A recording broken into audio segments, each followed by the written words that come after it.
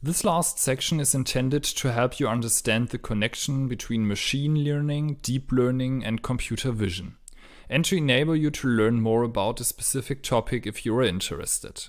Ever since the first computers were developed, there has been a desire for machine learning methods that allow machines to adapt to their environment. However, since computers are far inferior to humans in terms of learning ability, research into the mechanisms of learning, and the development of machine learning processes is one of the most important areas of artificial intelligence.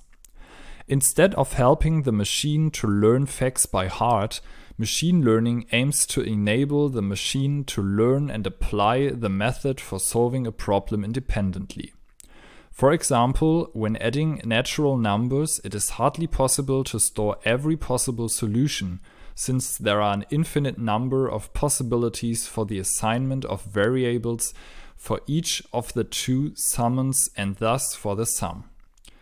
Instead, the machine is to be trained with the help of examples and learn the solution procedure independently. This process is called generalization. A simple example of machine learning is classification using characteristics. Imagine you have the task of classifying a potato harvest into quality categories. The characteristics that decide which category a particular potato belongs to were determined by the expert, in our case, the farmer. So the target assignment of the variables is known. Sorting according to these characteristics, such as weight, size, or shape, is extremely laborious for humans. It would therefore make more sense to train a machine that independently derives a classification function based on the given characteristics. Suppose we divide the potatoes into two classes, class A and class B. In this way, a machine learning procedure could calculate a classification curve as shown in the figure. In this case, only two characteristics were used for classification, namely size and weight. In the two-dimensional case, one can see very well how the boundaries of the classification curve run and which samples were assigned to grade A and which to grade B. In other examples, such as the classification of real estate, a variety of features can be used whose feature vectors span a one-dimensional hyperspace. Analogous to the two-dimensional case, a function is also taught in hyperspace, which classifies samples accordingly. A graphical representation, as in the two-dimensional case, is then of course no longer possible. In supervised teaching procedures, we know the correct answers, for example by the farmer's expert in the classification of the potato crop. In unsupervised learning procedures, data is fed to the machine whose target values are not known in advance. The machine tries to detect patterns in the input data that deviate from structureless noise. Examples of such methods include a compressor segmentation of a market or the analysis of astronomical data. Especially when using computer vision for image recognition, multi-layer neural networks are used which abstract the features for classification in an image in the layers of the network to such an extent that it is no longer possible to recognize which features were used for classification. Thus, the human being does not have to predefine special patterns in an image, but the machine recognizes them independently. The discovery of unknown patterns in huge amounts of data sets is aimed at by the discipline of data science and big data procedures. Deep learning networks are often used to analyze enormous amounts of data. The year 2011 is considered the birth year of deep learning. This year, researchers from Google X Labs took the database of YouTube and extracted 10 million still images. They then fed these images into the Google Brain. A network of a thousand computers that, like a toddler, would absorb information of all kinds. For three days, it brooded over the images, searching for recurring patterns, and finally decided that the flood of images could be divided into individual categories human faces, human bodies, and cats. It seems to be a special preference of the users to post cat videos or pictures on YouTube and Facebook. As a subset of machine learning, deep learning networks use multi-layered neural networks to carry out the process of machine learning and to mimic the complexity of the human brain. The first layer of the neural network is the visible input layer and processes the raw data input, like the individual pixels of an image for example. Since these are variables that we can observe, it is called the visible layer. This first layer passes on its expenditure to the next layer. The second layer processes the information from the previous layer and also passes on the result.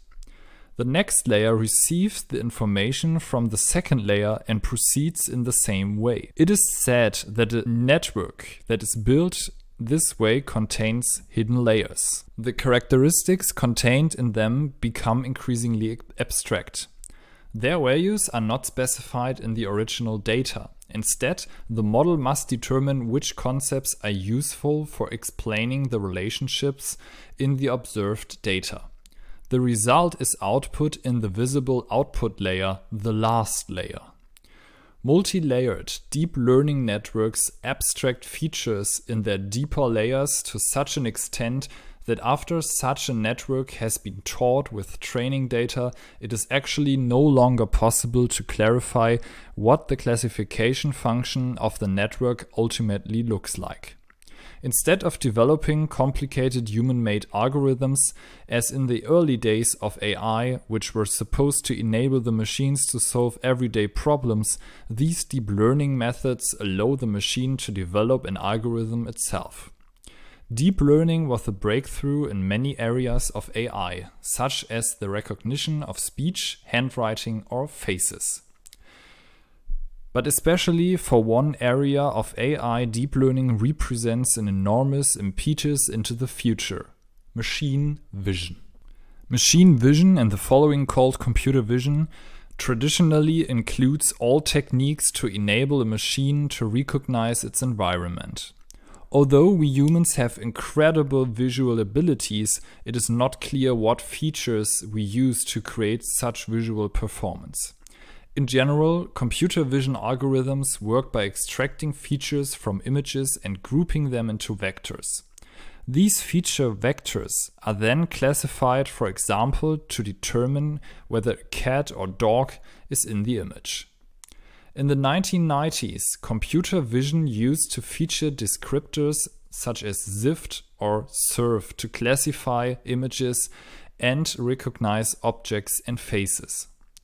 They are characterized by people selecting features such as edges, corners, or colors that they believe are relevant to object recognition. To improve performance, these descriptors have been combined with traditional machine learning algorithms for classification, support vector machines, and k-nearest neighbors. In the computer vision community, these approaches are called traditional techniques. The following figure shows two application areas of computer vision. On the left, an attempt was made to recognize an object in an image. The SURF method was used for this. SURF is the abbreviation for speeded up robust features. Simplified, it can be said that SURF stores special feature areas, the so-called blobs, and tries to find them again on a new image. These guidelines are intended to illustrate this. On the right picture, you can see the application of object tracking. Here a Kalman filter was used to predict the future positions of the robots. The Kalman filter calculates the future position of the robot based solely on the previous value. The prerequisite for a good performance of such an algorithm is that the path of the two robots do not change abruptly but move along a path. There are special markers for object detection by means of SURF, which allow detection even under the worst conditions. In this case, you will see a camera image of the robot shown above with a resolution of 300 by 200 pixels. On the left picture, you can see the reference image that the robot has in memory. In this live image of the camera, the reference image is now uniquely matched. In principle, a waypoint recognition was implemented here. The immense hype of deep learning also hit computer vision after the turn of the year 2000. At the latest, however, after the publication of the paper ImageNet Classification with Deep Convolutional Neural Networks in 2012, it was already cited several thousand times by other researchers and the trained network for the classification of images quickly became the standard model of the famous framework for multi-layer neural networks, Caffe. A convolutional neural network is also an artificial neural network. It is a concept inspired by biological processes in the field of machine learning. Convolutional neural networks are applied in numerous modern AI technologies, mainly in the machine processing of image or audio data. Basically, the structure of a classical convolutional neural network consists of a convolutional layer followed by a pooling layer. In principle, this unit can be repeated as often as required. If the repetition is sufficient, one speaks of deep convolutional neural networks which fall into the field of deep learning. The convolutional neural networks represent a further development of neural networks. In order to achieve a better generalization, behavioral rules are used instead of weights. In this case, the information of the neighboring pixels is bundled and passed on to the next layer.